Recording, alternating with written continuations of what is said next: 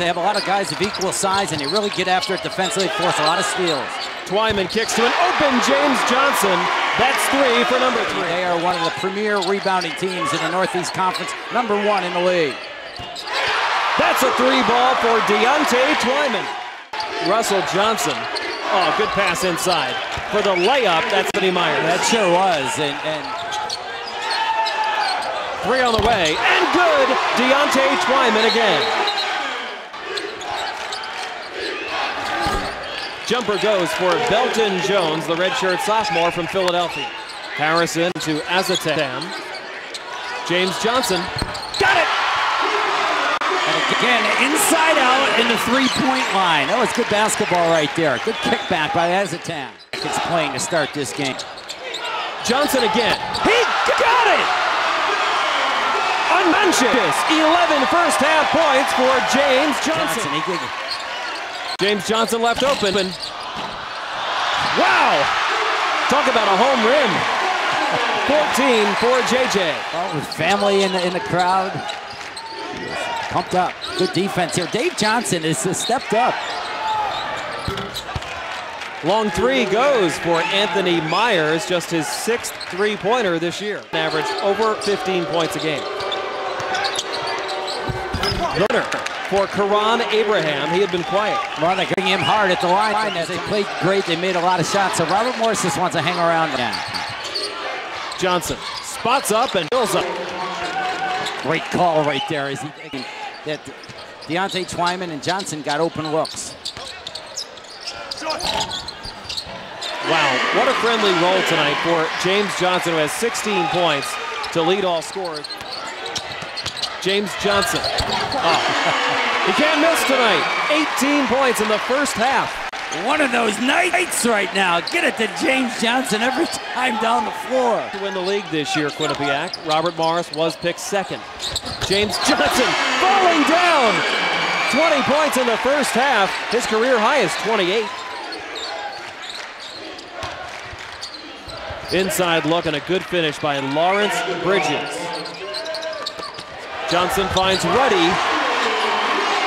That's a combination they've seen a lot over the years. Yeah, you know, as great as Johnson has been shooting the ball, that might have been the most important play he's made tonight because other guys are going to have to step up. He's going to start getting crowded. That was a perfect delivery, and it gets the confidence of Rutty going.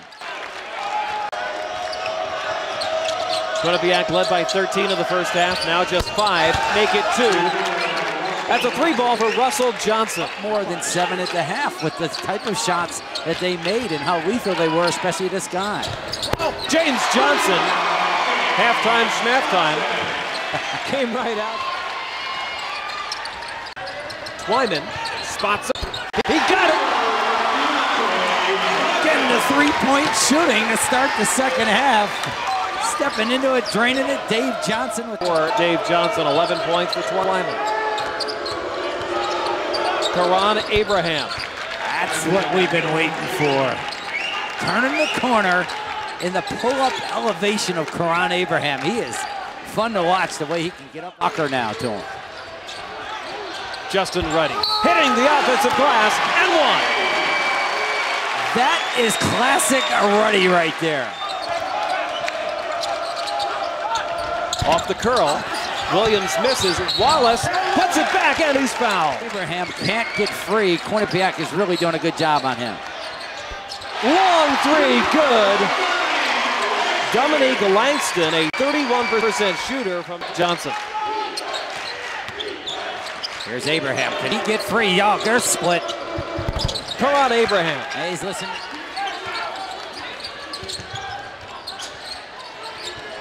James Johnson. Do not leave uh, James Johnson if you're guarding him. It's a great pleasure. All right, fellas, and James Johnson, by the way, was cramped up. They stretched him out during that last timeout, and if he's not back in there now, he will be momentarily. Back to you, Dave. Well, Paulie's feeling better. Johnson hits the shot, and he has tied his career by 28 points, six rebounds tonight as well, and two assists, and the lead is back up to 10 for Quinnipiac. Velton Jones hits it. Tim, I think the president had a, a, good point before about the Rhode Island win as, wow. James Johnson cannot be stopped. What a game. Abraham breaking them down. All right, to nine right now is Robert Morris. And Robert Morris. Coron Williams for three. That's good execution. A little down, cross screen, down screen, and it's the line. If, Rutty touches it, yeah, can't let him do that. A great pass, though, by James Johnson. We talked about his scoring. Well, that time, the key play of this game was the pass by James Johnson. Nice basket inside for Russell Johnson and a timeout called by Andy Connecticut on Saturday. Gary Wallace's three is good.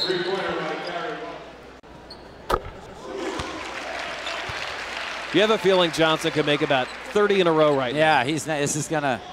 Don't go home. Just stay here and just shoot all night. oh,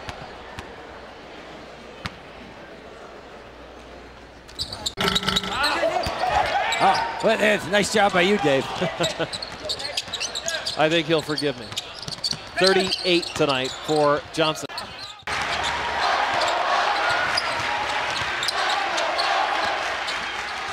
Twyman will dribble out the clock.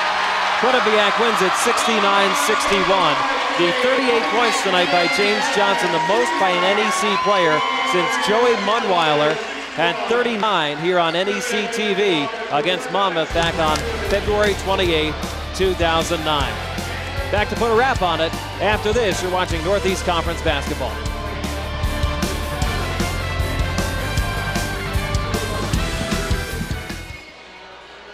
Quinnipiac victorious over Robert Morris 69 to 61. And Paul Dottino is standing by with our Ruby Tuesday player of the game who had a great performance tonight, James Johnson. Well, thanks so much, Dave. And between James and I, we scored 38 points tonight, and I didn't score any. James Johnson with those 38, that's the highest by an NEC player this year. Also, your career high. You only averaged 16 a game coming in. So, what made tonight so special, and why was it done with a variety of shots like it was? Last year, we lost to them on this court, 52-50, and I had that score like burned in my memory ever since we lost. So I took it on the off season to work hard, and I just this game was personal to me, so I had to come out and lead by example. Now, with 20 points in the first half, it was obvious they were going to try to do something different. What did they try to do you, do you in the second second half, and why wasn't it effective? They tried to trail, trail me like tighter, so and stay down on like on my pump fakes. So I just tried to like be versatile, like read what the defender was telling me to do, and I was like listening to my coaches to tell them like because they was running at me at the three-point line, so I just wanted to pump fake and do a little bit more. Now, it was about an hour before the game. Coach Tom Moore told us that Justin Rutty was cleared to play tonight, about a week or so before he even he thought. Yeah. So tell me about what was going on in your guys' minds. You know, Willis Reed has that, that legendary game back in the 1970 finals when he came on the court. Okay? So tell me what was going through your mind at that point when you found out he might be playing. We was actually in the training room, and um, Justin Rutty listened to Michael Jackson before the game. So he put on the, um, the CD and they started playing, and they jumped up on the table and started getting taped. I was like, nah, it's not happening. Willis Reed. And then Rutty got he ready, put the jersey on, and that just got me excited even more. Okay, so finally, what does this win over the defending champions mean for you guys? Because clearly, LIU right now is in first place in the conference, but you guys still seem like you want to make a lot of noise. Well, it gave us some closure from like from last year, and that just probably like it's gonna get the train rolling because we've been like having like a little tough stretch without Justin. So this probably gonna like boost our confidence just because like they did defend the champions and they did defend the champions until somebody beats them. So I think that they still the top, and I think we just need to come out and play hard. Well, if this train keeps rolling, you're going to be the coal in the engine. I guarantee it, James. Thank Thanks you. so much. Thank you. All right, fellas, back to you. Okay, Paul.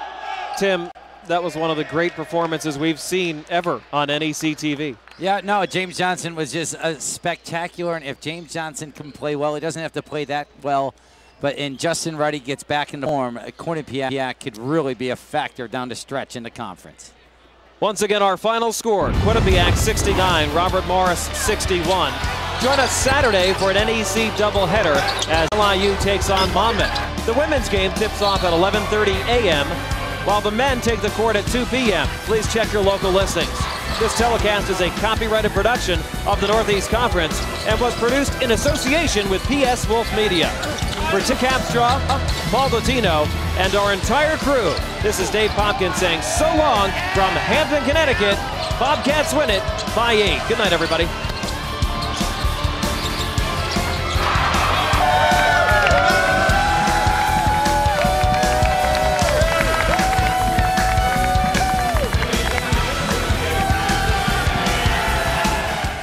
Time now for one of our favorite segments, Holding Court with Tim Capstraw. Somehow, Tim still looks the same age as he did 11 years ago when we started out this program.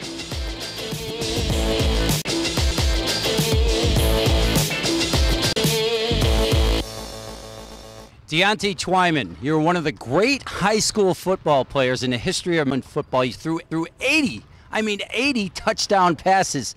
Explain to me why you didn't choose to play football in college.